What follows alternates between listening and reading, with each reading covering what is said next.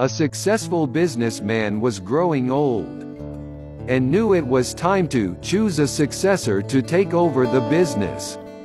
Instead of choosing one of his directors or his children, he decided to do something different. He called all the young executives in his company together. He said, It is time for me to step down and choose the next CEO. I have decided to choose one of you. The young executives were shocked. But the boss continued, I am going to give each one of you a seed today. One very special seed.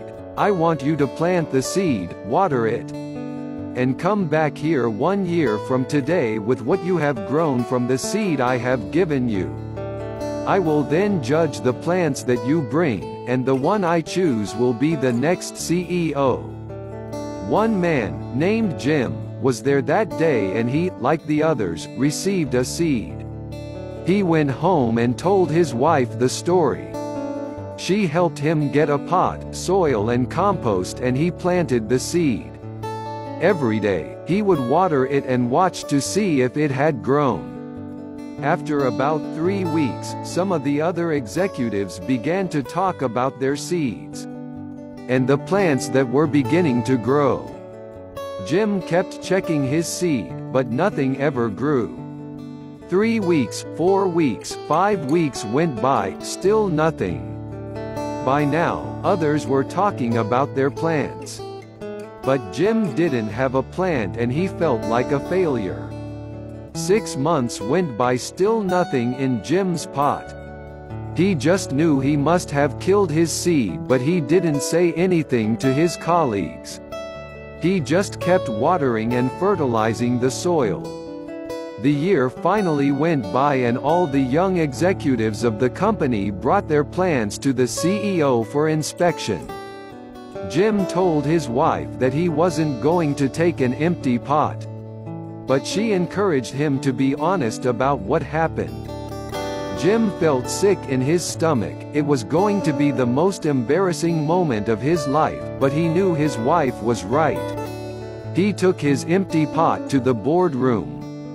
When he arrived, he was amazed at the variety of plants grown by the other executives. Jim held his empty pot and many of his colleagues laughed at him. When the CEO arrived, he surveyed the room and greeted his young executives. Jim just tried to hide at the back. My, what great plants, trees, and flowers you have grown, said the CEO. Today one of you will be appointed the next CEO. Then he spotted Jim at the back of the room with his empty pot. He ordered the financial director to bring him to the front.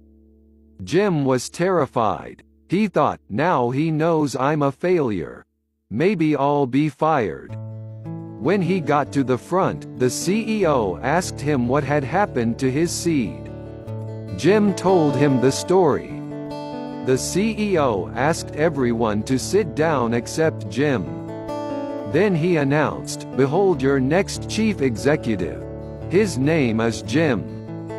Jim couldn't believe it, Jim couldn't even grow his seed. How could he be the new CEO? The others said.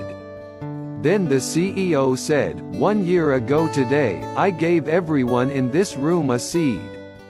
I told you to take the seed, plant it, water it, and bring it back to me today.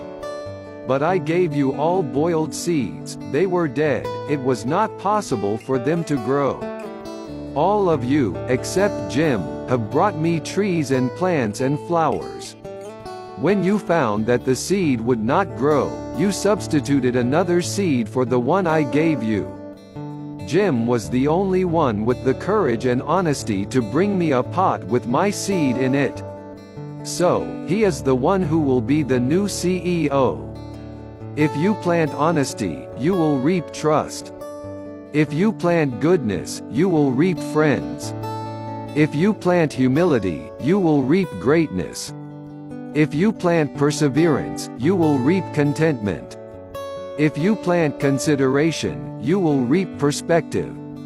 If you plant hard work, you will reap success. If you plant forgiveness, you will reap reconciliation. If you plant faith, you will reap a harvest. Always be careful what you plant now because it will determine what you will reap later.